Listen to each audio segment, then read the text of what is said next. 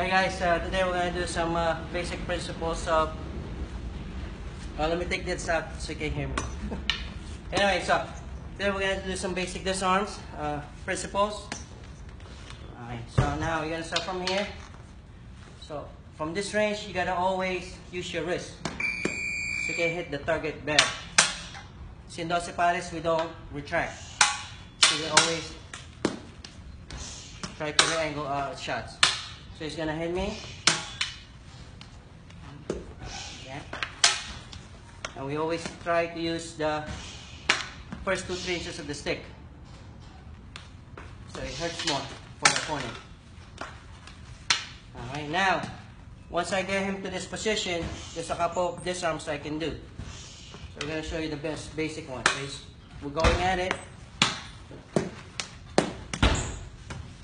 And now when he goes to this position, I'm not even gonna grab it.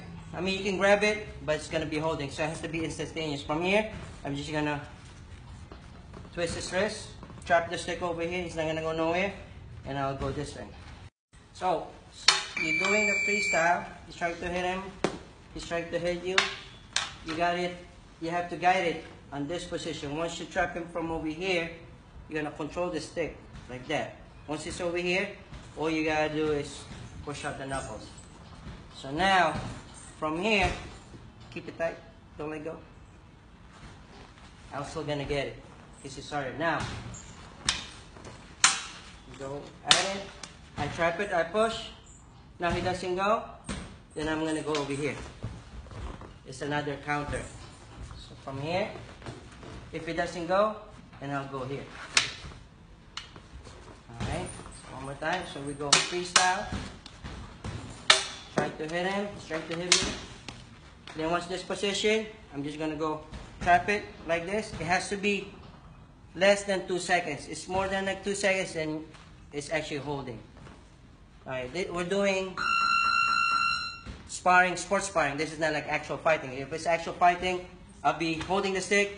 I'm just gonna punch him or hit him with the stick, and I'm gonna grab it tight. But since this is like a sports application, you cannot hold like this. So I'm just gonna trap it. It has to be instantaneous. Alright. So you gotta program your opponent to get trapped over here. So another way to do it is from here.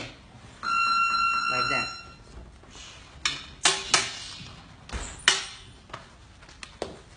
I'll switch the trap over here. You can go this way or that way using your elbow or your knuckles. Trap, push, or this way. So there's a lot of variation from it, but I hope you like this uh, short explanation, and we'll see you soon. Keep on practicing. If you have any questions, shoot us a text or inbox us. Thank you.